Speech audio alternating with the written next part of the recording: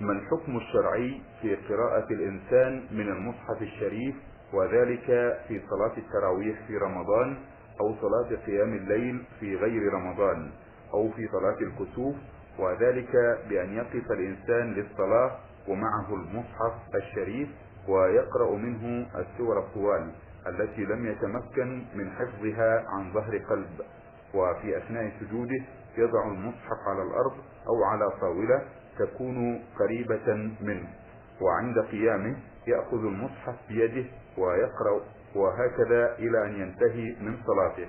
هل يجوز ذلك أيضا في صلاة الفريضة؟ أفيدونا أفادكم الله.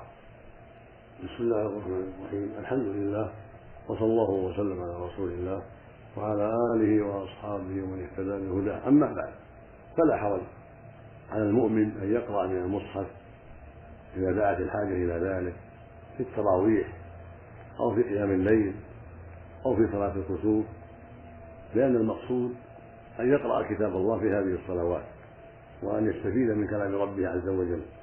وليس كل أحد يحفظ القرآن أو يحفظ الصور الطويلة من القرآن فهو في حاجة إلى أن يسمع كلام ربه وأن يقرأه من المصحف فلا حرج في ذلك.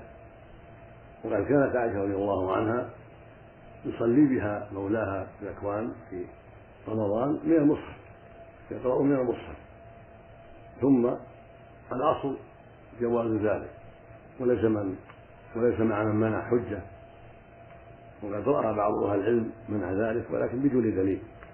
والصواب أنه لا حرج في ذلك في صلاة التراويح في صلاة الليل صلاة الكسوف كل هذا لا حرج فيه. حتى الفريضة لو دعت الحاجة إلى ذلك لا بأس.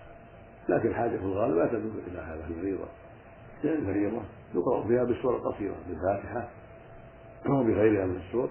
فالغالب أن الإمام لا يحتاج إلى ذلك.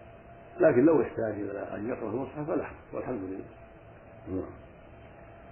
السؤال السؤال الثاني في رسالة ثم أيضا يلاحظ أن أن السنة والأفضل أن تكون أن يوضع على كرسي في مرتفع يكون حول المصلي يضعه عليه.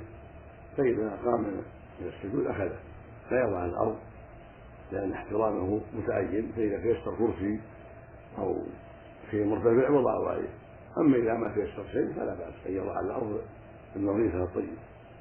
نعم.